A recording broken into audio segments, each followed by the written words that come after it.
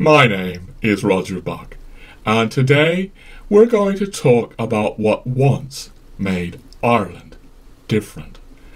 Different from England, different from America, different from the rest of the Anglosphere, and certainly different from the contemporary globalist project, which, it seems to me at any rate, is bent on reducing people to a homogenized, monotonous, same size fits all condition, um, and bent on leading us into an increasingly progressive, secular, liberal, also capitalist um, ethos, and to focus on why and how Ireland was once different to all of this.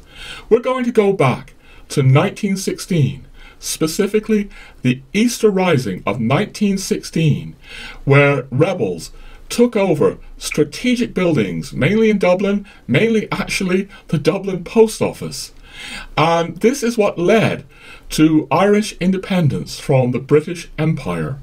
Um, and what we're going to do is I'm actually going to um, mainly be reading you from my book, Cor Jesu Sacratissimum, where I go into Ireland a lot. I mean, really, um, Ireland has formed so, mu- so much of the inspiration for this book, and indeed my other book, The Gentle Traditionalist. There's links to those down below. Um, but I won't just be reading to you. Uh, we'll also be bringing up a lot of pictures on the screen, and then I'm going to interject um, some of my own commentary as we go along. Um, and anyway, but let's just begin with reading a bit. Um, it's a slightly rewritten version um, from what appears in the book. The modern Irish state was born from armed revolt in 1916.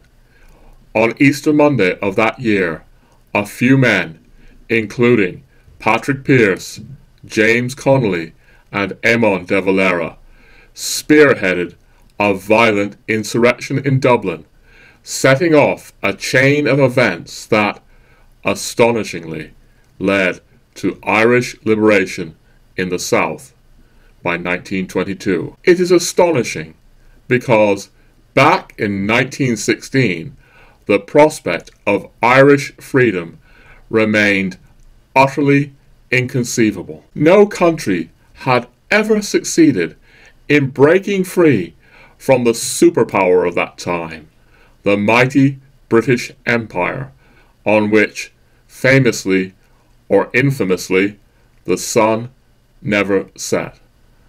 Apart, that is, of course, from the American colonies in 1776, who were aided by the French. And, having suffered British domination for centuries, most Irish assumed their situation could easily continue a few further centuries more. At the time, then, the Easter Rising of 1916 appeared not simply hopeless, but indeed howlingly, ridiculously absurd. The devout Patrick Pearse, however, thought differently and prepared to sacrifice his life for his vision that Ireland might be free. Commandeering Dublin's General Post Office, hardly the centre of government, Pearse walked out onto its front steps at four minutes past noon and proclaimed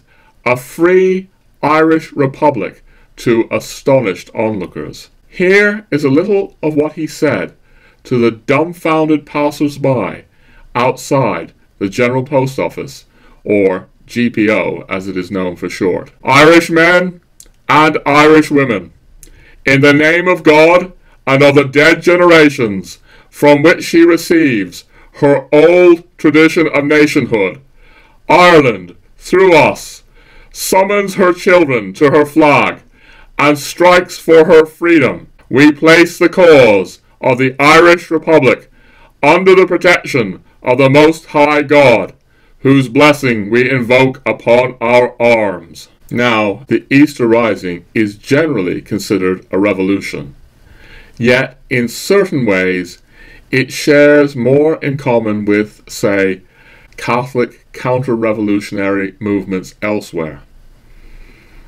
As Mary Kenny, in her book Goodbye to Catholic Ireland, writes of the 1916 insurrection.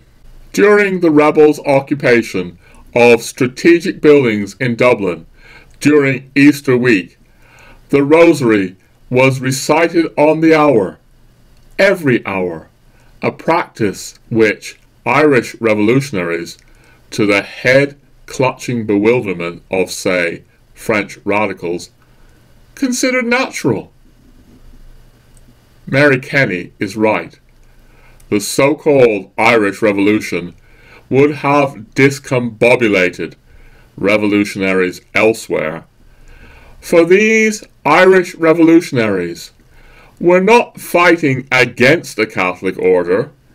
Instead, they fought for the liberty to secure a Catholic culture very different to England's Protestant society. In contrast to revolutions elsewhere, the Ireland they were fighting for was not a more secular society, but in fact one that would prove far less secular. Few things convey that manifestly less secular attitude better than the constitution that the Irish would later vote for following their liberation. For that constitution, celebrated here in an Irish stamp from 1937, would have been unthinkable to liberal England, forbidding as it did things like divorce and commencing with the following preamble In the name of the most holy Trinity, from whom is all authority, and to whom as our final end all actions both of men and states must be referred. We, the people of Ireland, humbly acknowledging all our obligations to our divine Lord Jesus Christ, who sustained our fathers through centuries of trial, gratefully remembering their heroic and unremitting struggle to regain the rightful independence of our nation, and seeking to promote the common good. Do hereby adopt, enact, and give to ourselves this Constitution. Now, my interpretation here of the Rising as a Catholic revolt against the Protestant, secular, British spirit would have been a common one in Ireland 50 years ago. But today, secular revisionists may challenge it. They will point out, for example, that a few figures involved definitely did not share such aims. For example, James Connolly's goals were certainly more socialist than Catholic, and there were a few, very few, Protestants involved. Such things are sometimes asserted to minimize the Catholic dimension of the Rising. Such arguments collapse, however, when we consider the remarkable Catholic piety not only displayed by the Rising's leaders, including Patrick Pearse, Eamon de Valera, and Eamon Ceannt, but also the vast rank and file of those who followed them into battle. Let us consider what Fearghal McGarry writes in a recent and definitely secular book on the history of the Easter Rising. Volunteers were armed not only with guns, but rosary beads, scapulars, and holy water. Confessions were heard, conditional absolution was granted, and the rosary was endlessly recited. One GPO volunteer recalled, "'Twas not an unusual sight to see a volunteer with his rifle grasped firmly in his hands and his rosary beads hanging from his fingers. Every man in the place went to confession, recalled one of the Jacob's garrison. There were many incongruous scenes. In the GPO, a priest set up a confessional beside the ammunition dump. And McGarry also speaks of how Elis Ryan described Father Augustine's spiritual support. Rosary after rosary was recited during the last 24 hours as the British military were closing in on the area. The firing was intense on Saturday. Father Augustine was still on his knees. He consoled the wounded and staff alike and prayed for the success of the men in action. McGarry also offers this account of how one volunteer described how he surprised Eamon Ceannt, commandant of the 3rd Battalion, during a lull in the fighting.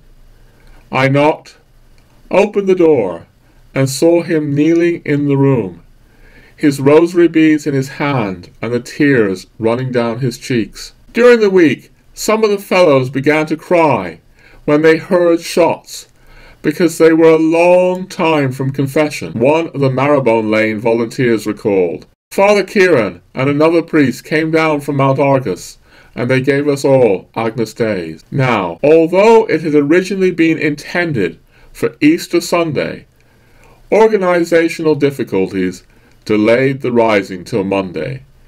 Here, it is striking how McGarry describes the scenes in churches that weekend.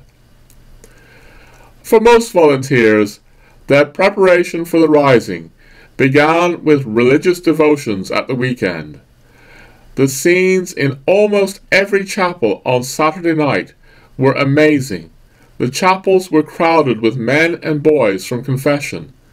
Similar scenes were witnessed on the Sunday morning, thousands of men and boys receiving Holy Communion. Putting McGarry down now, I'm going to add this latter fact assumes greater importance when we realize that although Mass attendance was extremely high in Catholic Ireland, actually receiving his body and blood still remained infrequent. Generally speaking, Catholics during those pre Vatican II times often felt unfit to receive. However, these men not only felt fit, they sought out communion with our Lord, for what they knew might well prove the final time. And, as McGarry further explains, the rising assumed a supernatural dimension for many of those involved, witnessing as they did miraculous occurrences, such as the rebel saved from a sniper's bullet when he kneeled for the Angelus, or the picture of the crucifixion left untouched, although the wall all around was torn with bullet marks. And rising leader Tom Clarke's wife, Kathleen, who experienced an epiphany after the rising, was not alone in describing the Easter rising in the religious language of apparition divine mission, and sacrifice. Yet perhaps the greatest testimony to a miraculous dimension here lies in the staggering fact that against every odd, the rising worked. Six years later, Ireland was free, even though virtually all the leaders of the Easter Rising were immediately executed by the British following swift victory by their vastly superior forces. Indeed, when the Easter Rising leaders occupied those few strategic buildings in Dublin, they obviously recognized their cause was completely hopeless in military terms. Yet, knowing they would certainly be executed they chose to sacrifice their lives for a gesture they believed would galvanize the Irish people. Incredibly, their belief proved true. For the rising leaders were shortly perceived as martyrs and inspire the Irish to rebel like never before. In six short years, the British lost the hold on the nation they had held for over seven centuries. And here, reader, I am prepared to venture something very controversial in modern Ireland. For many now criticise Pearse and the Rising's bloodshed, and, speaking personally, it also troubled me for many years. Yet, the Rising remains one of the most extraordinary true stories I have ever read. Indeed, at face value, it, it appears completely bizarre. Before the Rising, Patrick Pearse had been an introspective schoolteacher and by many accounts possessed an overly sensitive, even timid nature. According to one story, Pearse was so upset by accidentally killing a worm in his garden that he gave up work for the day. Yet, Patrick Pearse was mysteriously transformed into a man who sacrificed his life to seize a post office, of all things. Moreover, he proclaimed himself leader of a then inconceivable Irish Republic, a republic that shortly and shockingly came to happen by and through his death. Personally, I think of the likewise very strange, very improbable story of St. Joan of Arc, and cannot help but wonder if the intensely religious Patrick Pearse experienced too a mystical, albeit never recorded, inspiration. Alright, friends, I'm going to stop reading for just a few moments and make a little bit of personal commentary here. I'd like to draw your attention to the words that I just said in my book that I cannot help but wondering. That means this is just personal speculation. I also said that this issue of the rising troubled me for many years. Um, you know, five or six years ago, I could never have written um, what I've written in that book because I was still deeply troubled by it at that time. And yeah, I had to sort of balance different issues in my mind. And so, on the one hand, I had to take seriously, and it's important to take seriously, the bloodshed that was involved with the rising. Now, I think something like um, in that initial rising led by Patrick Pearse, 500 people were killed. Um, the majority were the combatants, the British soldiers, and the Irish volunteers, but there were some innocent civilian deaths. And it's a very striking factor of me to me how much in Ireland today is made of the fact of that loss of innocent lives. I mean, the American Revolution cost far, far more. The French Revolution cost even more. You go to France, you don't hear anybody, anybody. Well, I might be exaggerating, but you know, um, you know, the French don't seem to have any of that kind of remorse. Um, even though the French Revolution was, the atrocities are, are off the scale compared to um, the Easter Rising. But yes, there's a lot of criticism in Ireland um, about the innocent lives lost in the Rising. And it's important to be concerned about the loss of innocent lives. Uh, and I'll come back to that. But, you know, another whole factor is the question of whether the Rising is a just war. And by the classic criteria of what a just war is, it has to be said that it isn't. Um, a just war, uh, among other things, is premised on um, the conflict being winnable. And as I say, by all ordinary standards of judgment, this conflict was not winnable. Um, now it's very, very strange that in the end, it, it, you know, Pearse, Pearse won. Very, very mysterious. But at the time, it looked just beyond belief stupid. Um, so yeah, that all led me to Saint Joan of Arc because you know if you look at that whole conflict um, back in the 15th century, um, it certainly doesn't look like a just war that St. Joan of Arc was leading. I mean, we can't go into all the details, but here it's relevant to say that back at that time, Britain and France were sort of very, very enmeshed. You know, Britain was taking over French culture the way it took over Irish culture. And St. Joan of Arc led a military campaign that um, established France on her own feet. And that, for that reason, even today, even non-religious, you know, uh, French secular people, even anti-Catholic secular people in France celebrate Joan of Arc because they see her as a key figure, which is true, in establishing French identity. And that's important to the French. The French are very concerned with things like GAFA, um, G-A-F-A, Google, Amazon, Facebook, Apple, um, what they see as the Anglo-Saxon, as they call it, domination of world culture. So Joan of Arc is very important um, for what she did for establishing French identity separate from Anglo-Saxon world domination, as you would find French people say today. And yes, there is a certain parallel that Patrick Pearse was concerned about the Irish having their own separate culture and identity. Now, I'm not saying that Patrick Pearse was a saint, um, um, like Saint Joan of Arc. It's very mysterious. The church, you know, has decreed Joan of Arc a saint, even though I'm not sure you can call that a just war. So there's profound paradoxes and questions here.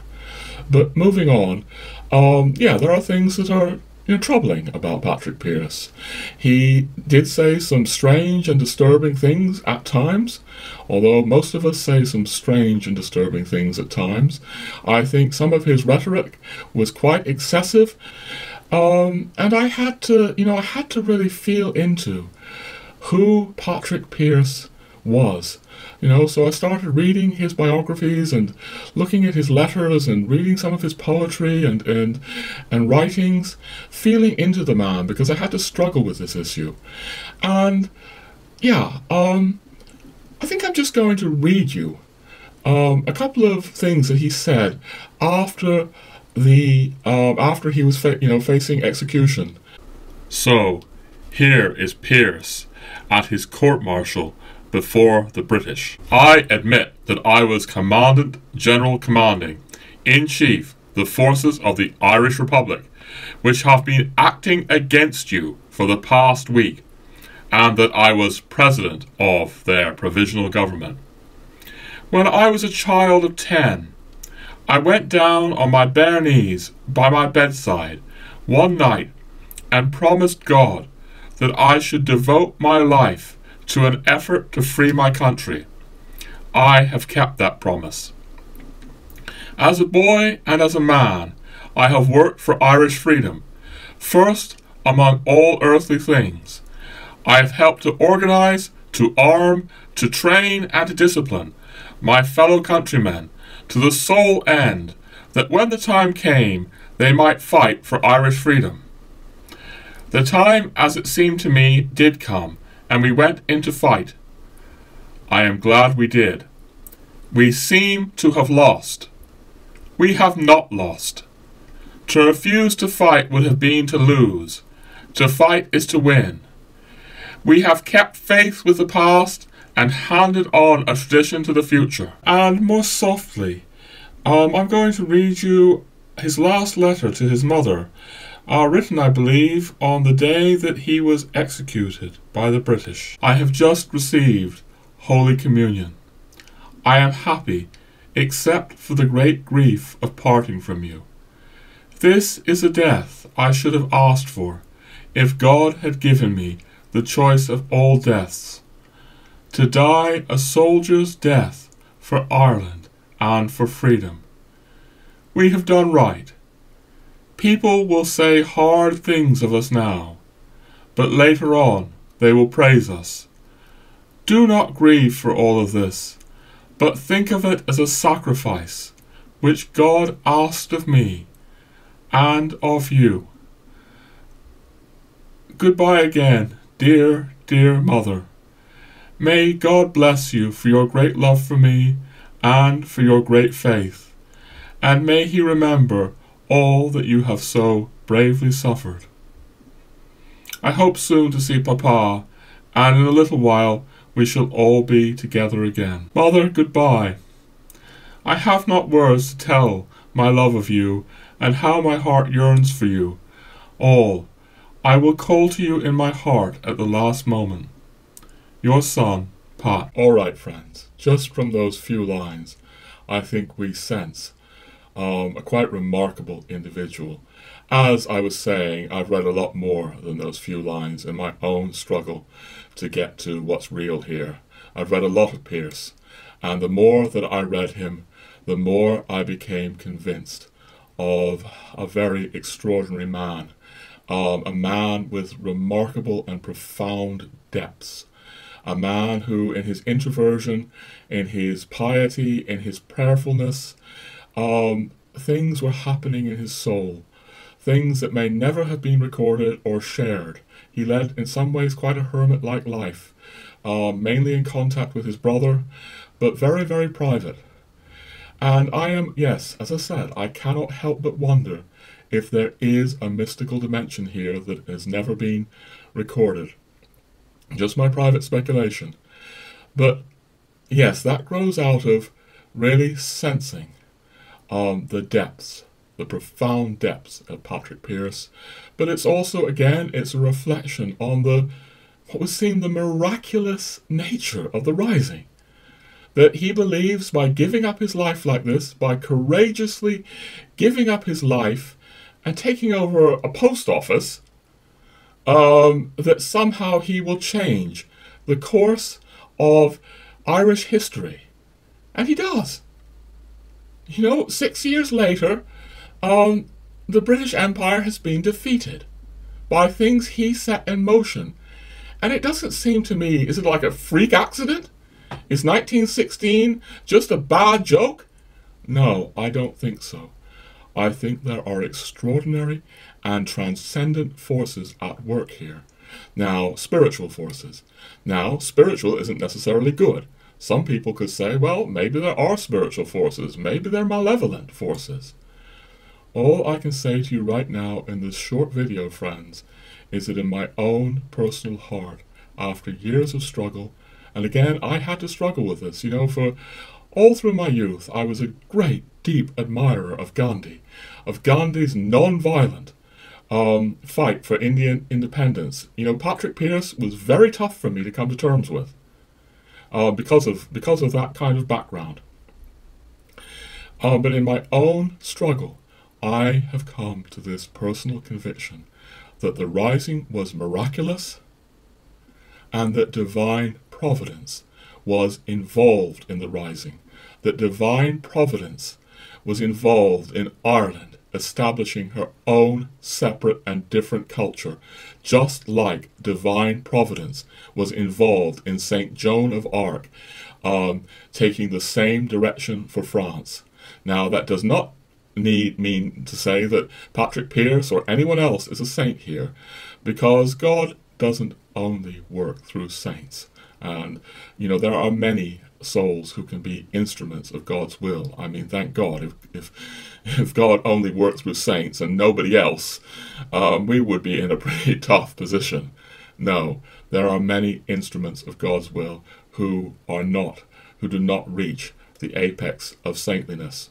It does not mean that everything that Patrick Pearse or everyone else did in the Rising was pure and unfallen pure and unfallen and holy. No.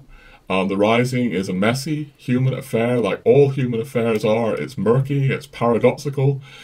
Um, nonetheless, I have come to the conviction that divine providence was working through the rising. And I'm going to come back to that at the end of the video.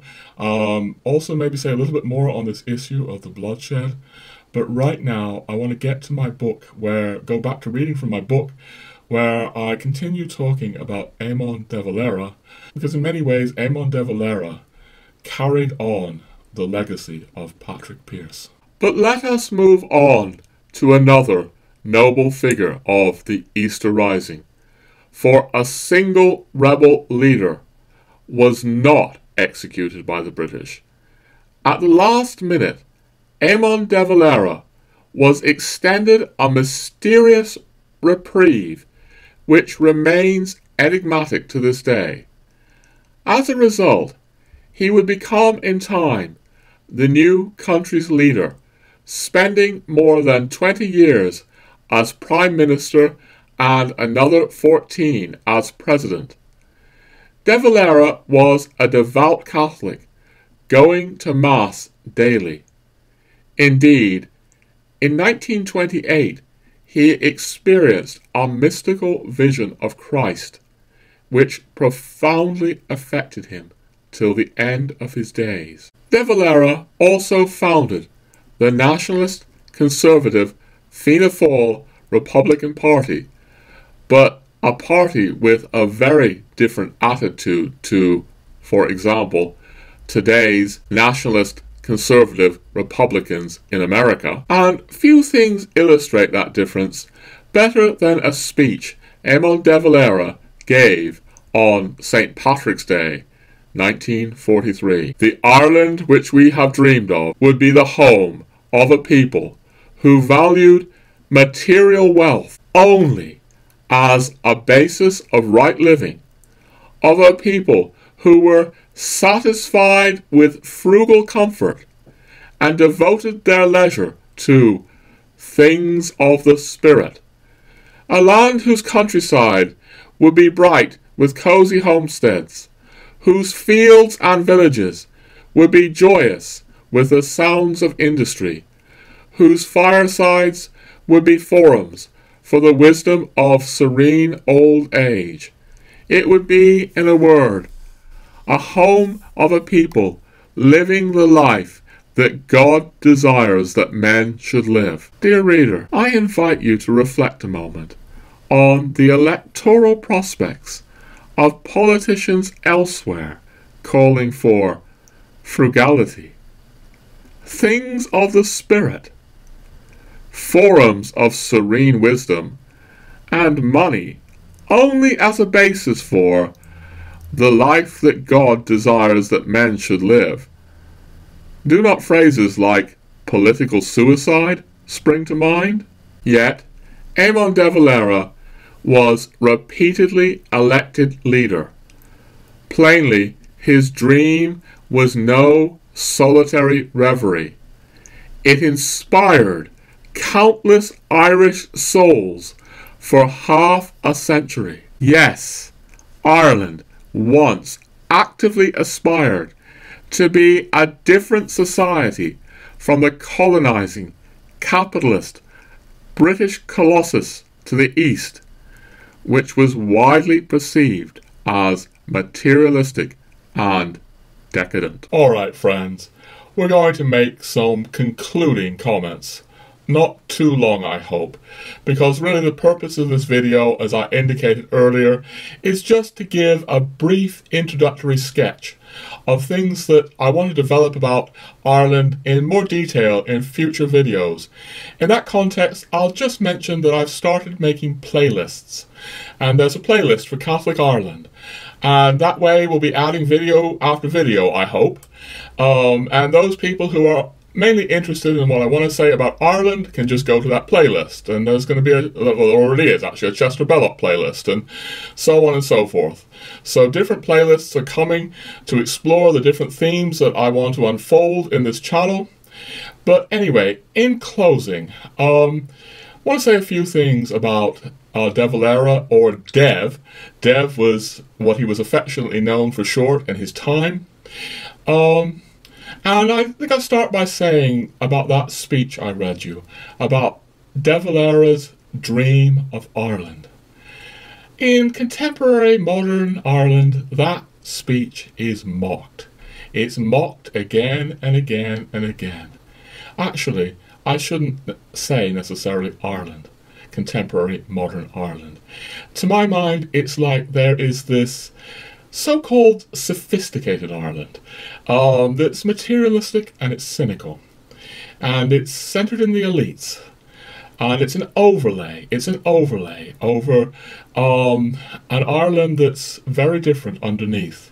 You know, I had a comment in the comments box from an Irish American saying that he was thinking differently of moving to Ireland because I was suggesting um, that Ireland had been destroyed.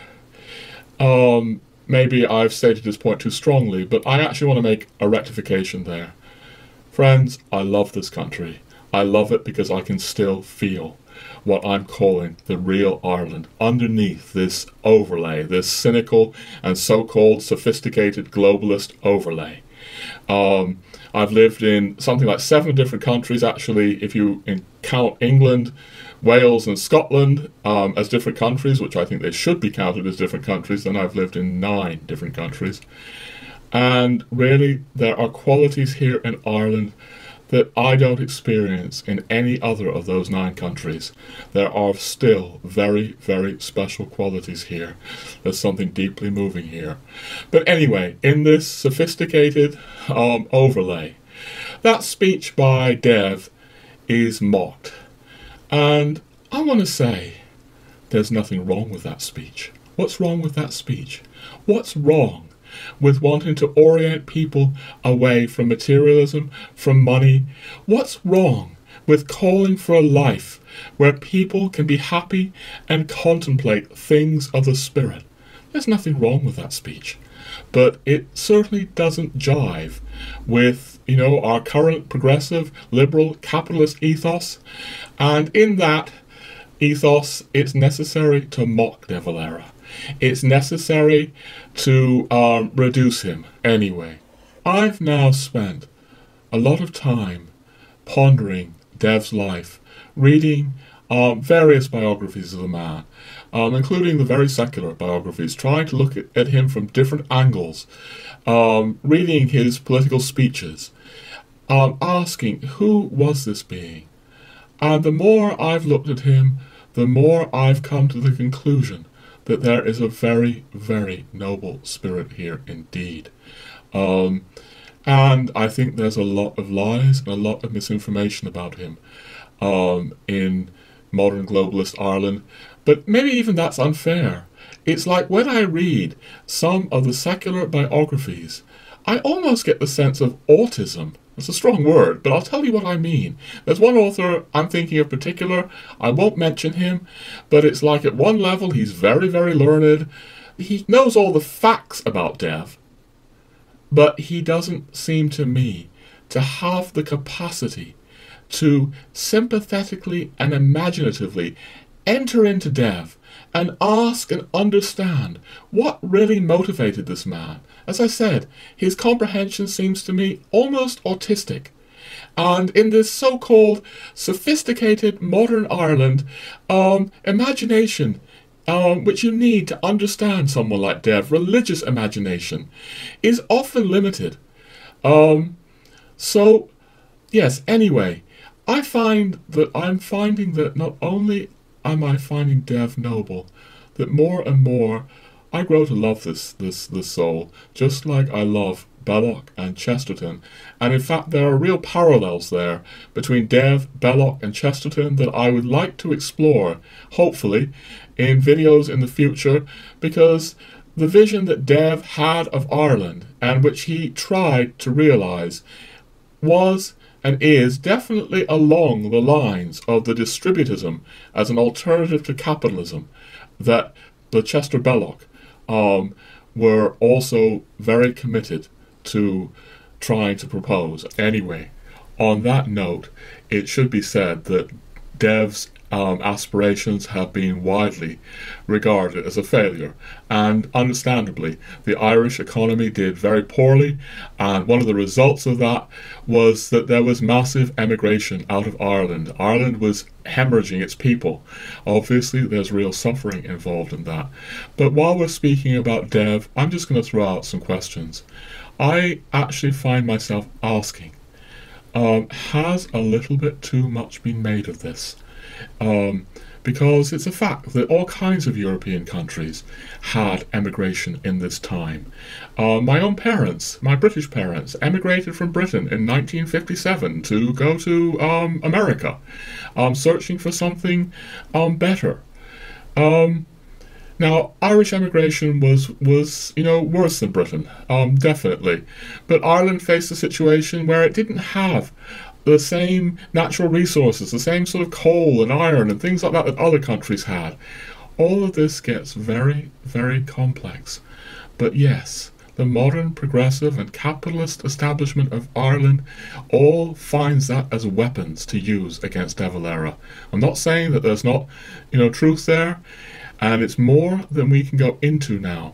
But I want to raise questions about De Valera, because what De Valera was about was this different Ireland. This Ireland that would not go down the same social and economically liberal path as Britain. And he's now pictured as obsessed about that. He's seen as bent, bent on economically destructive policies because he was obsessed with isolating Ireland from the modern world.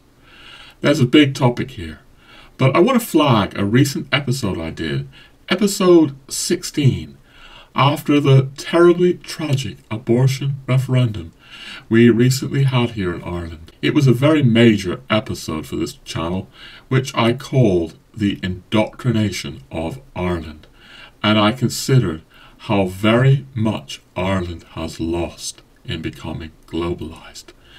And just maybe Dev wasn't as obsessed as our brave, new, liberal, and capitalist world makes out. Maybe Dev was actually a prophet.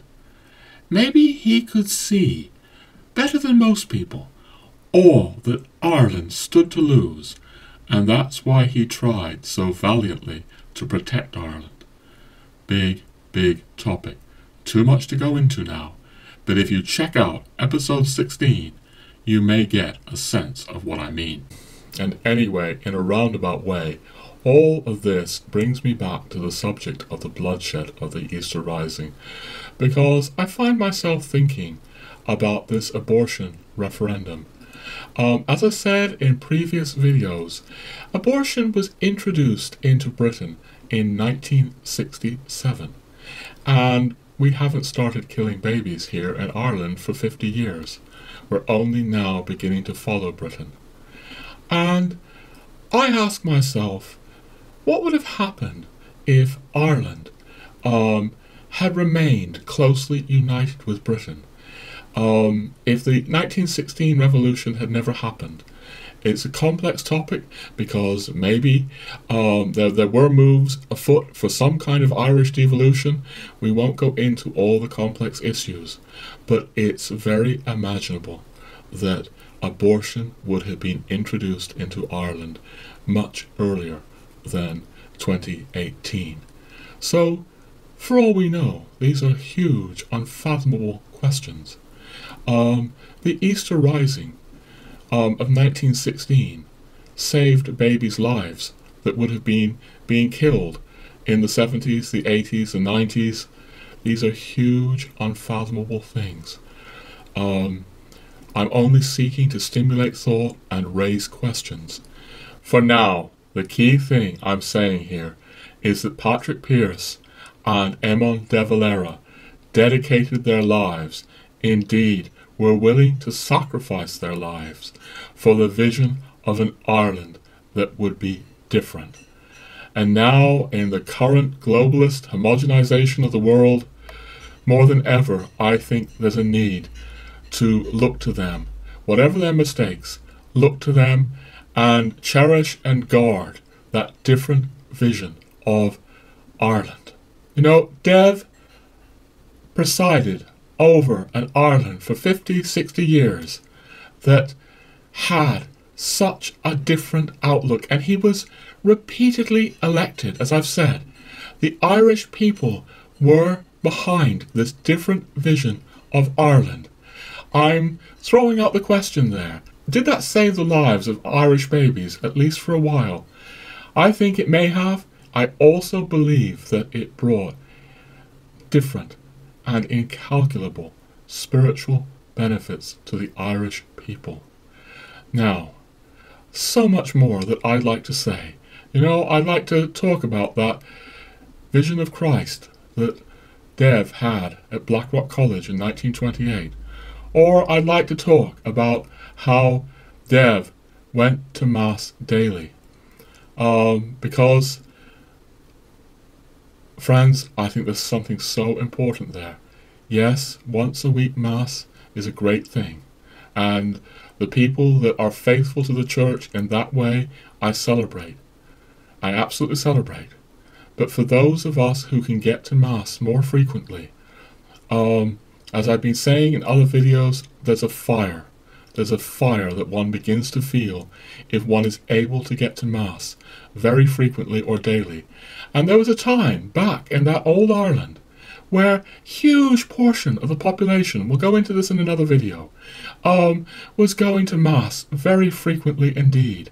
The sacraments, the sacraments are a key part of that Catholic Ireland that I want to explore. Indeed, I do explore it um, in my two books, both Cor Jesu Sacratissimum, which I've read from today, and also my earlier um, little book, it's a more introductory book, The Gentle Traditionalist. All right, friends, that wraps it up for now. I just want to thank people for commenting on the videos, for liking the videos, for sharing the videos, or subscribing. Please keep it up. It all helps what I'm trying to do here. And also make another request. Wherever you are, please say a prayer for Ireland. Maybe light a candle for Ireland or offer a Mass for Ireland. Ireland needs your prayers. So that's all I'm going to say now, except, of course, thank you for listening and God bless you.